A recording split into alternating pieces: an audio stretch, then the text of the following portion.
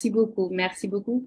Et euh, nous venons juste de voir que le professeur Djibi est parmi nous.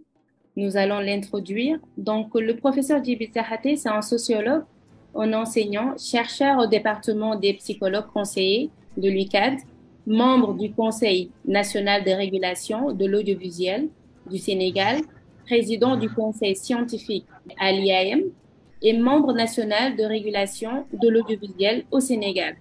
Donc, euh, merci beaucoup, cher professeur, d'avoir accepté notre invitation. Euh, nous vous laissons la parole.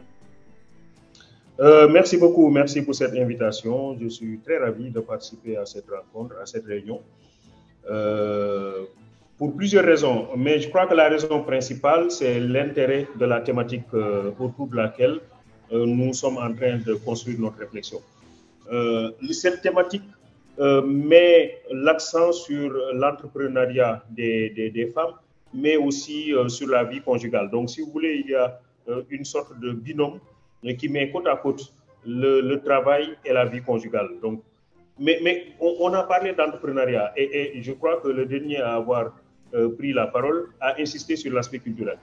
Je crois que c'est important de parler de culture entrepreneuriale en tenant compte des réalités culturelles qui existent chez nous et qui ont toujours conçu le travail comme une activité familiale. En réalité, dans nos traditions, la famille n'était pas seulement un espace de reproduction, la famille était aussi un espace de production. Alors, tant et si bien que lorsque le, chef de famille était dans une activité professionnelle bien donnée, il y entraînait tous les autres membres de la famille. Il est cultivateur, euh, toute la famille s'adonne à cette activité il est pêcheur, toute la famille aussi euh, va en mer. Euh, il est forgeron, euh, toute la famille est préparée au métier de la forge. je vous renvoie à l'enfant noir de Kamaralay. Alors tout cela montre évidemment que dans nos sociétés traditionnelles, la famille était le cadre à l'intérieur duquel la production s'organisait. Mais dans ce cadre-là, et essentiellement dans une société qui était foncièrement patriarcale, les exigences professionnelles était posée par l'homme et par l'homme seulement. Je viens de le dire, c'est le mari euh, qui constitue la tête de pont et qui entraîne toute la famille dans l'activité professionnelle dans laquelle il s'adonne. Donc on ne pouvait pas imaginer une femme qui pouvait avoir sa propre activité et qui pouvait avoir euh, son, son, propre domaine d'entrepreneuriat qui sort du cadre de la famille en tant que tel. Donc la famille, encore une fois, était un espace de production pas seulement un espace de reproduction. Alors donc, à partir de ce moment-là, on se rend bien compte que nous sommes en présence d'un espace culturel qui accorde peu de possibilités à la femme d'être dans un espace entrepreneurial autonome, coupé, euh, coupé euh, de la logique familiale et surtout de la logique du mari. Maintenant, euh, ces sociétés ont connu un certain nombre de mutations. Je crois que c'est important de montrer cela.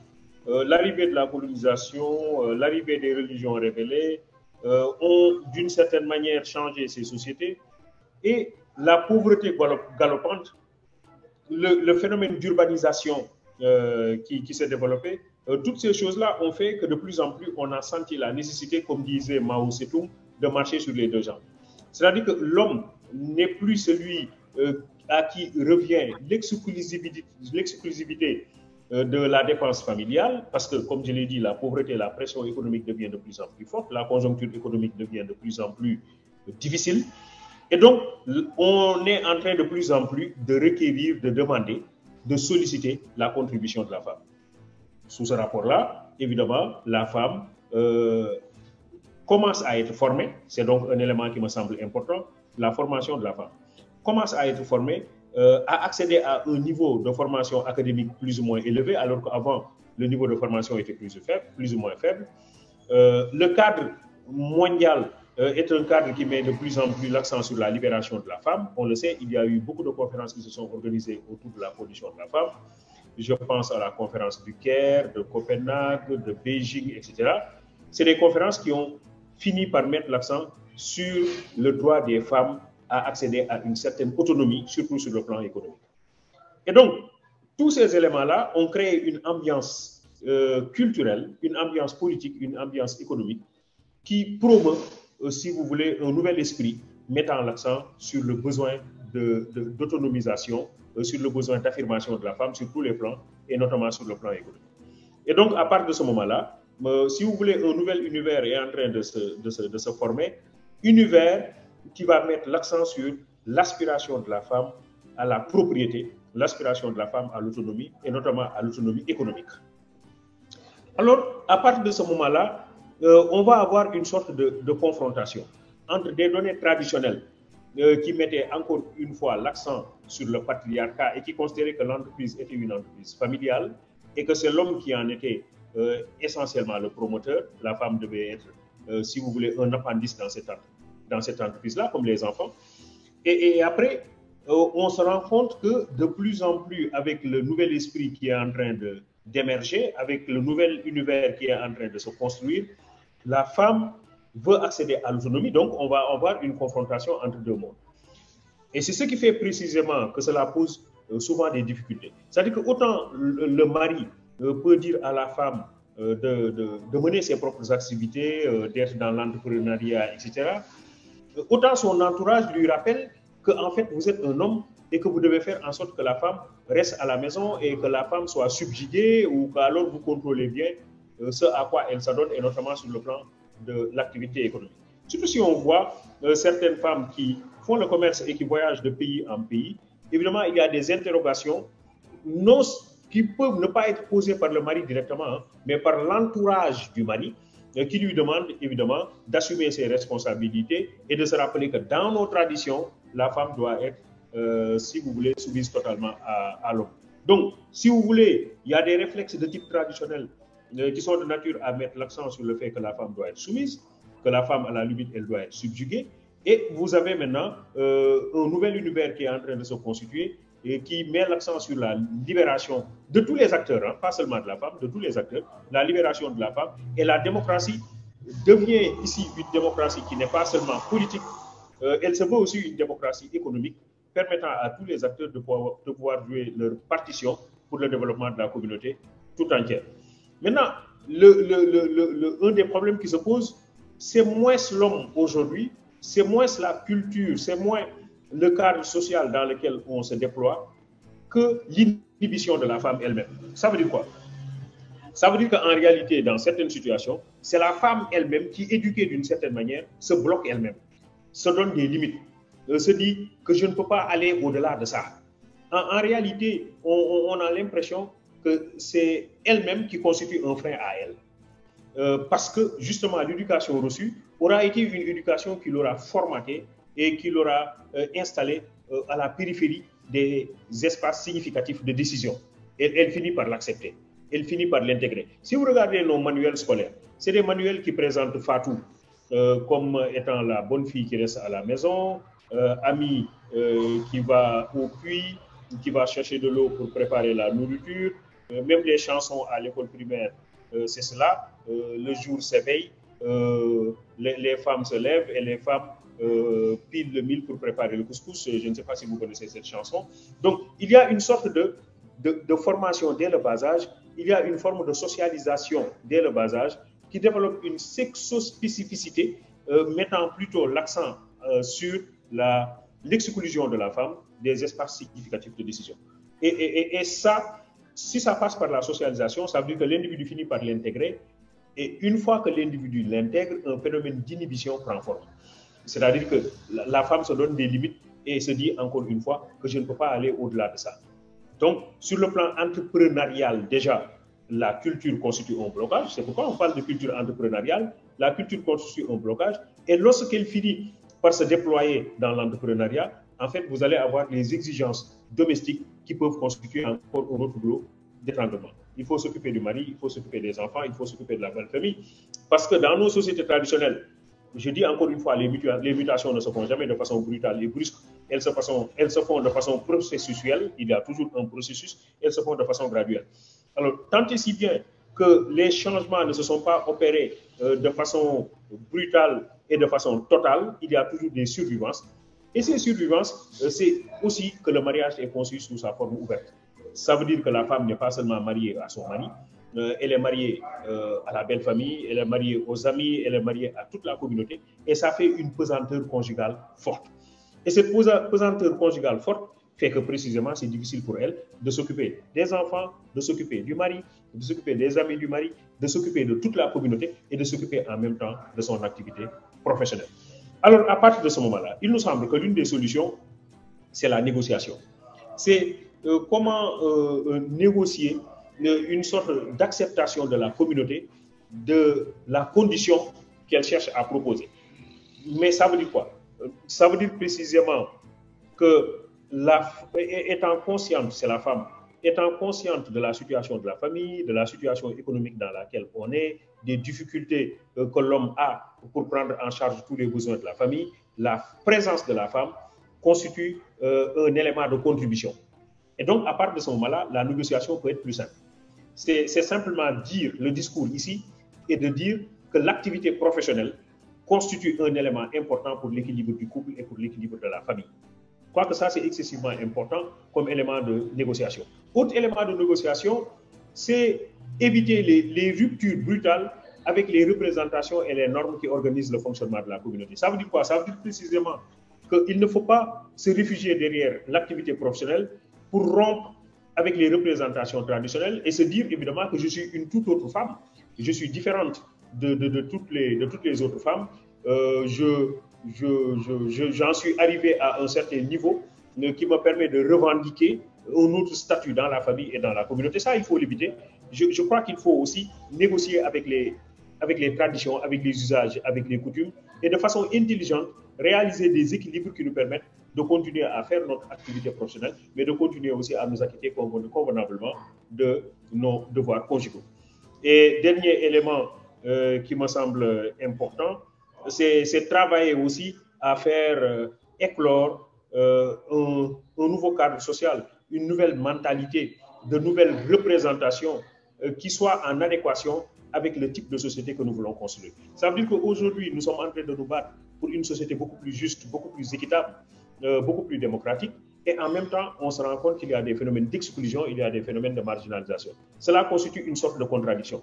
Donc l'idée est de voir à travers le mouvement associatif, par exemple, euh, à travers le plaidoyer, par exemple, donc à travers de multiples outils que l'on va combiner et euh, mettre l'accent sur la nécessité de construire une société qui soit beaucoup plus juste, beaucoup plus équitable, dans laquelle les différents acteurs ont la possibilité d'apporter leur contribution au fonctionnement et au bien-être de toute la collectivité.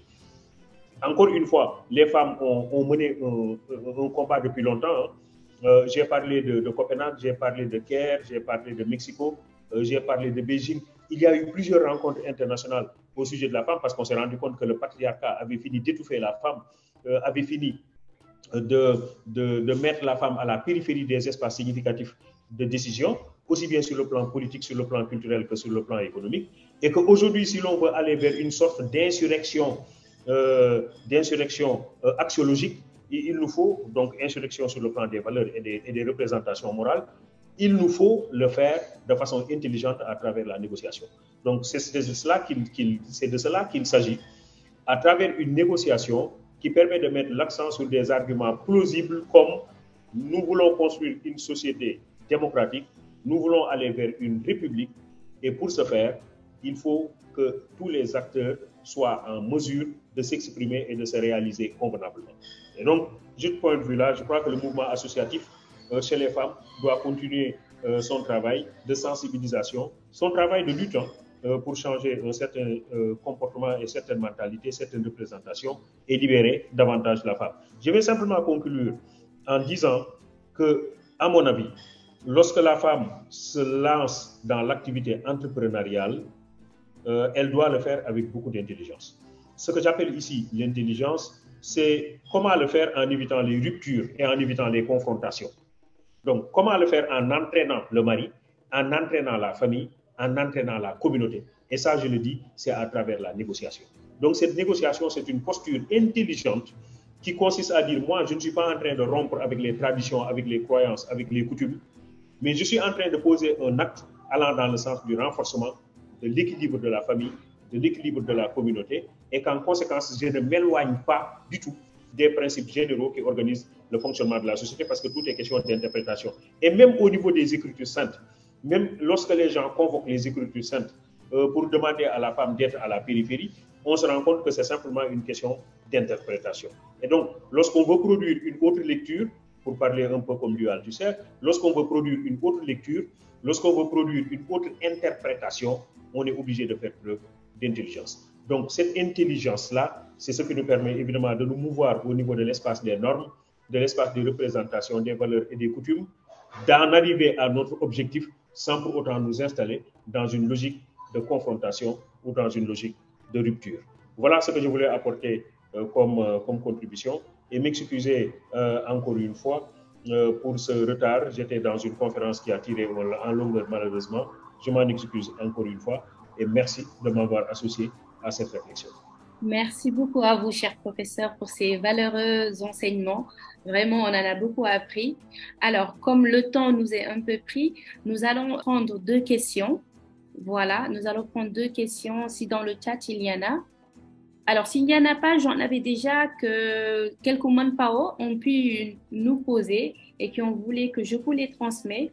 Et, ce sera, et il s'agira en plus de répondre par rapport à ce dont vous parlez, par rapport à la communication.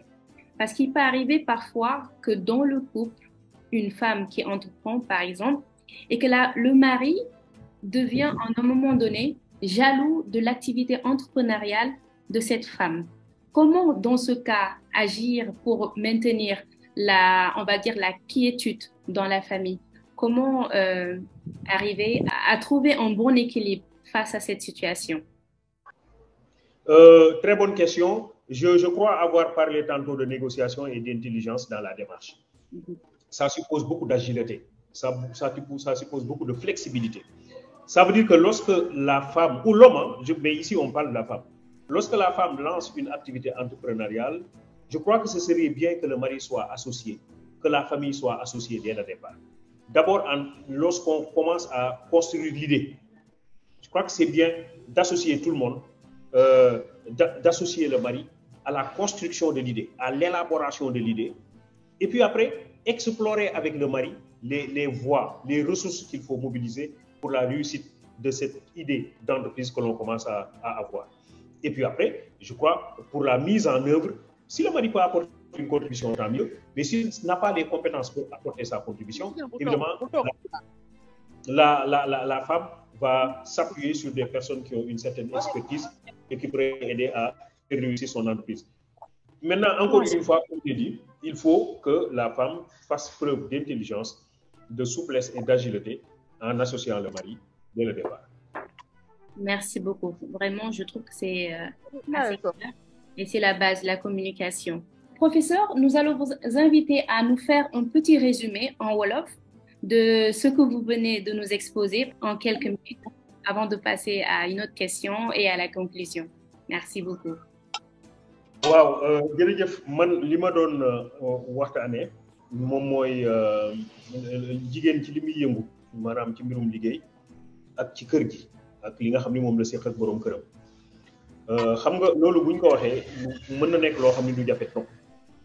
parce que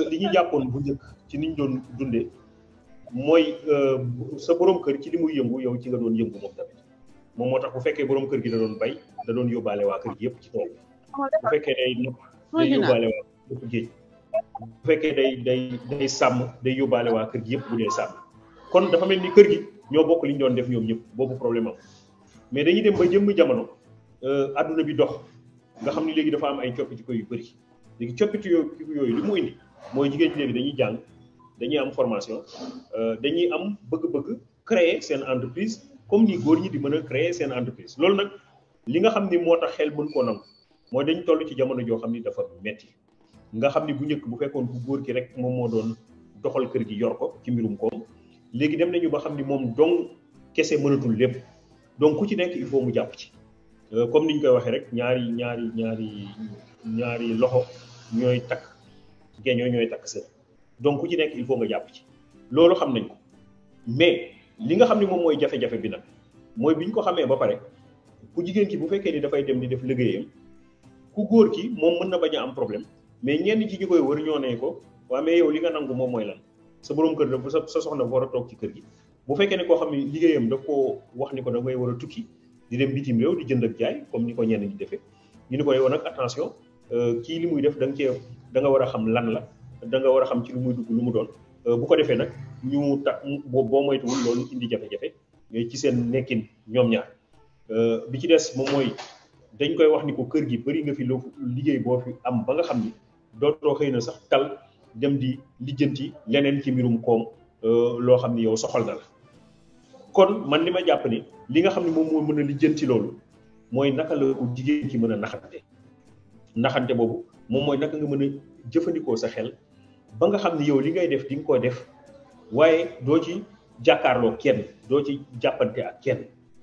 Di nga di nga dem di xëy di di nekk ci li ngay yëngu waaye doo ci jàppanteeg sa borom kër doo ci jàppanteeg ay ñoñam doo ci jàppanteeg tamit say ñoñ. Mais gis naa ni benn jafe-jafe bi sax yenn saay nekkul sax ki nga xam ne mooy borom këram nekkul waa kër borom këram waaye boo ko dee xool yenn saay ci jigéen ki moom ci boppam la. Parce que dina am nenn nuñ ko yoree ba nga xam ni dafay jàpp ni moom ye fenn fi mënu faa yegg. Dama wax sànq ci nasaraan ni boo xoolee téere yi nga xam ne moom la ñuy jàngalee xale yi boo delloo ci école primaire fa ñuy jàngi dañ leen di wax ni faatu de moom moo demoon marché ñëw togg ci kër gi. Wala ñu ni nafi de moo demoon teen ba rooti ndox ñëw def ci def ci ndaal wala ñu ni awa moom moo xëy di soq pour togg cere ci ngoon léegi nag ñu ni Moussa moom moom moo xëy atelier liggéey pour indi dépense. Ñu ni Ablaye moom moo xëy dem bay pour indi dépense. Salif moom moo dem bureau pour indi dépense. Loolu la ñuy jàngal école bi nga xam école yi mais loolu ko defee ci nit ki mu moom li muy jàpp moom mooy kon moom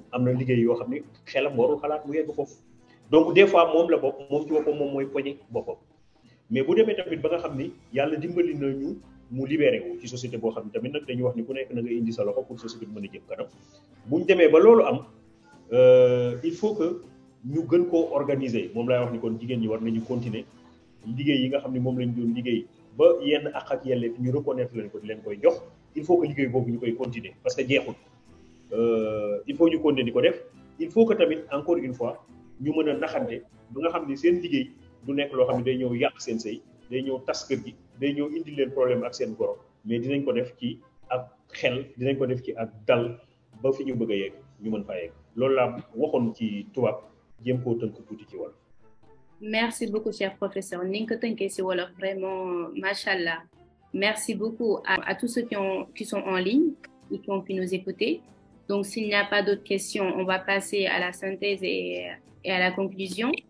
merci beaucoup cher professeur alors comme temps bi tënk nañu on n'a plus beaucoup de temps c'était pour une heure de temps Euh, nous, tenons, nous vraiment à vous remercier, cher professeur Djibi Diakhaté, et aussi euh, le professeur Abraham Sadio, de nous avoir honorés de par votre présence. Nous vous en sommes très reconnaissants. Merci à tous ceux qui ont pu être présents à cette émission spéciale sur l'entrepreneuriat et la vie conjugale. Nous avons appris comment les couples d'entrepreneurs peuvent trouver un équilibre entre leur vie professionnelle et leur vie personnelle tout en maintenant une relation saine et épanouissante. Avec une bonne communication, c'est tout faisable. Nous avons eu de pertinentes questions. Nous avons également découvert, nous avons également découvert des stratégies et des outils pratiques pour aider les couples à gérer leur temps, à communiquer efficacement et à trouver un équilibre sain entre travail et vie personnelle. Nous espérons que cette émission vous a été utile et vous a inspiré à poursuivre vos rêves entrepreneuriaux tout en maintenant une relation saine, épanouissante avec euh, votre partenaire. N'oubliez pas que la clé du succès, c'est avant tout d'avoir une vision claire et une communication ouverte et de trouver un équilibre sain entre votre vie professionnelle et votre vie personnelle. Donc, avant de clore mes propos, nous rappelons que le GIE Women Power Biz permet aux femmes entrepreneurs de se connecter avec d'autres femmes ayant des intérêts et des objectifs similaires, ce qui peut contribuer à renforcer le réseau professionnel. Avec Woman Power, vous pouvez bénéficier de formations en entrepreneuriat, du mentorat, des conseils d'affaires, qui peut aider toute femme à développer ses compétences entrepreneuriales et à réussir dans leurs entreprises. En intégrant le GIE Woman Power, les femmes peuvent bénéficier d'une visibilité accrue en tant que groupe, ce qui peut les aider à se faire connaître et à augmenter leur clientèle. En somme, Woman Power met en place des formations pour le renforcement de la confiance en soi, en travaillant aussi avec d'autres femmes entrepreneurs au sein du GIE. Les membres peuvent partager leurs expériences et des défis similaires, ce qui peut contribuer à renforcer leur confiance en elles, même à leur donner le soutien dont elles ont besoin pour réussir dans leurs entreprises. Donc, pour être membre, il suffit de nous contacter via nos réseaux sociaux.